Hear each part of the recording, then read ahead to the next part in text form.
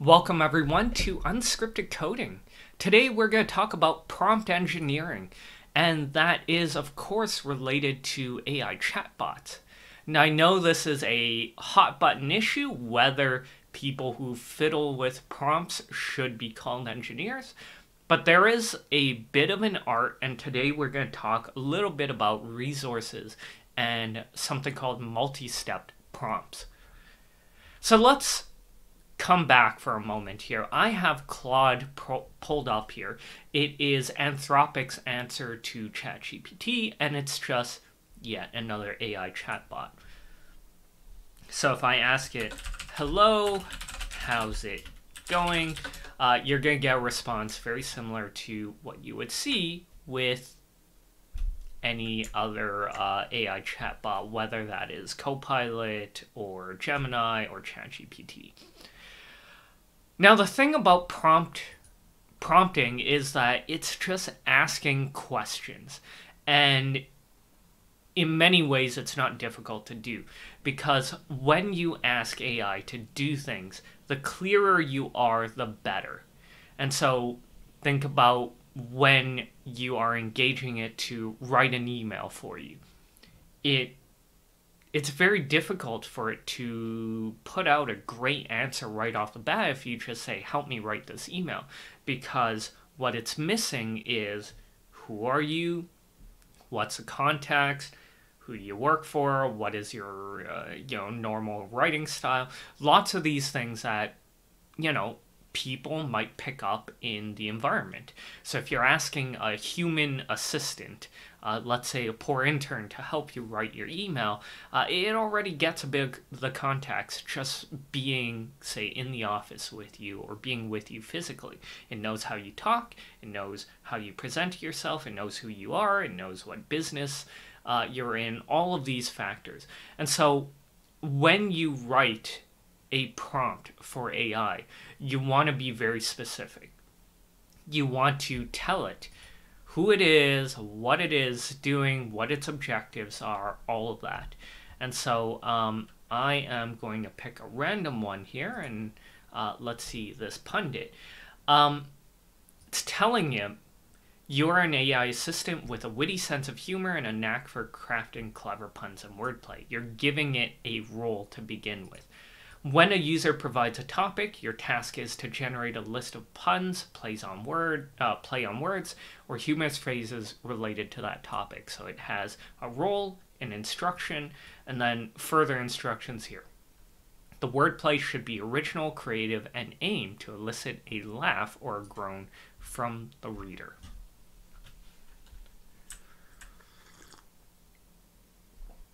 So it's very, very specific. Um, if you ask your friends for a pun, they might get your sense of humor.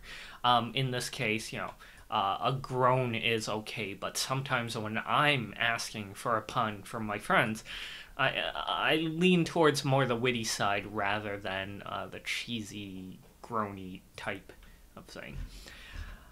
Um, so there are so many of these. And what I found interesting is that Claude Anthropic also put out this meta prompt, a prompt to make prompts. Okay, and so um, you can take a look at the text. I think it's right here, uh, where you'll be writing instructions to an eager, helpful, but inexperienced and unworldly AI assistant, blah, blah, blah. And then it's telling you, here's how you would do it. Now, what I found very interesting is that um, there is a caveat right here that uh, this is designed for a single turn question response prompt, not multi turn. What this means is you're asking it to provide one answer, one specific answer, and a great way of doing this is, say, translations. I want to translate uh, English to French every time there is just a single response.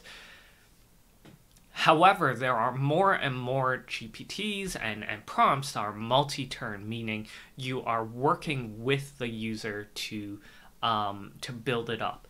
And so, for example, if we go back to our pundit prompt, uh, you might say at the end, you should ask the user on a scale of 1 to 10, how witty do you think it should be? And how groan worthy should it be, 1 to 10? And so today, what I wanted to talk about first is all of this GPT stuff, uh, prompting stuff, but also past 101 to 102, which is this multi step, which I haven't seen a whole lot of yet. Let's take a look at another random example here. Um, memo. Uh, sure, you know what? Memo Maestro here. Uh, your task is to compose a comprehensive company memo based on the provided key points. So, overarching rule the memo should be written in a professional tone, addressing all the relevant information in a clear, concise manner. This is flowing into the instructions now. So, let's start tweaking this prompt to become multi-turn. Okay, let's start this off. So, I still want this comprehensive company memo, but I want to take out the tone part. You should address all relevant information in a clear and concise manner. Use appropriate formatting such as headings, blah, blah, blah. Ensure that. Um, before you begin, you should ask me what sort of tone you want me to strike. That way I can say something like more casual type of memo or hyper professional, hyper buttoned down. Um, you can also add and chain this down with more um, more uh, more options. So uh, another common method is um, giving the user a couple options in which I only need to respond one, two, or three. So in this case, you should also give me uh, three options in which I can decide just by giving you a number. Each option should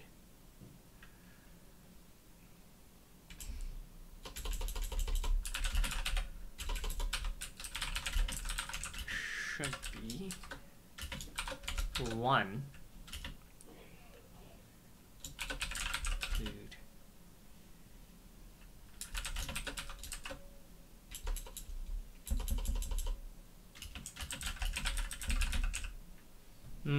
I'm trying to think of what options I might make when I have memo. Um, in, uh, format it to plain text, to format it to markdown, three, format it, copy So here is our first attempt. We just modified this Memo Maestro to ask us two options. One is tell us what kind of tone you want, and second is a couple of options for formats.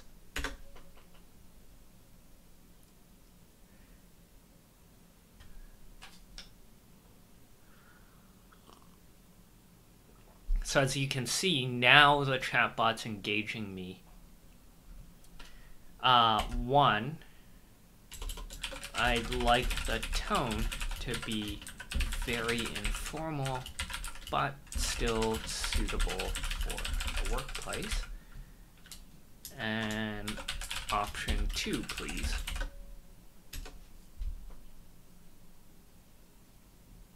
Some of the really impressive things I've seen with this are the games, the the choose your own adventure prompts in which you start off with a uh, with a background and it's constantly giving you three options for the user to to continue the story so in this case um, it now is ready to prepare the memo so i'm going to give them the same kind of user inputs here.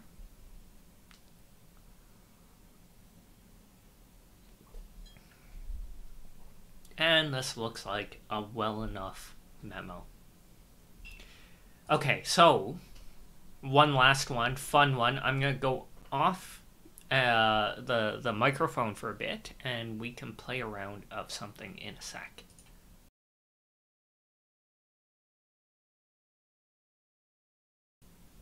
And here we go. Um, you're helping me create a choose your own adventure game. Your role is to tell the next part of the story and then give me four options for the main character, the protagonist, to take. When I select an action, you will continue the story and then provide me another four options, and you will keep doing this indefinitely. So the idea is, you know, hopefully they give me a paragraph or two in the story, give me four options like, uh, uh, I don't know, uh, go to the temple, go to the streets, go uh, to the palace, and go to the stable. Choose. Uh, the setting, the setting for this story is in ancient Mesopotamia. I am a priest who discovered a young thief trying to steal from the temple coffers.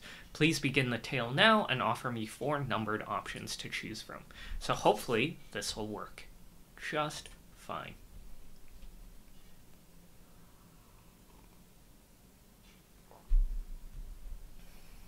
You are a priest in the ancient city of Ur, one of the most revered cities of Mesopotamia. As you were making your evening rounds through the temple, you caught sight of a young urchin attempting to pry open the sacred coffer that held the temple's most valuable treasures. With a booming voice, you called out, You there! Unhand those riches at once, you filthy street rat. The young thief froze, eyes wide with fear. What should you do next? Perfect. So, um,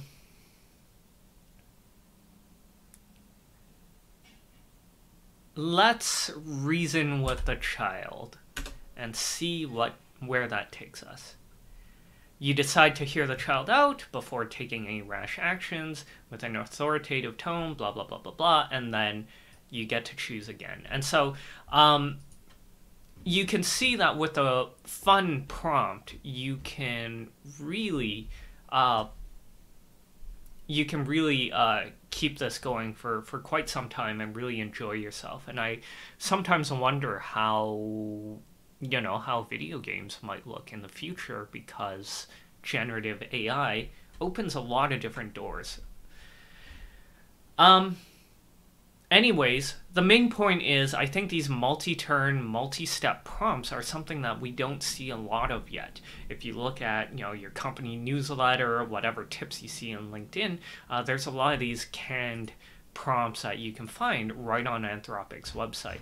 But um, the really fun, useful ones are getting to a point where they're multi-step. You can interact with it in different ways before it spits out an answer. Hopefully you found that interesting, and I will see you next week for another video on unscripted coding.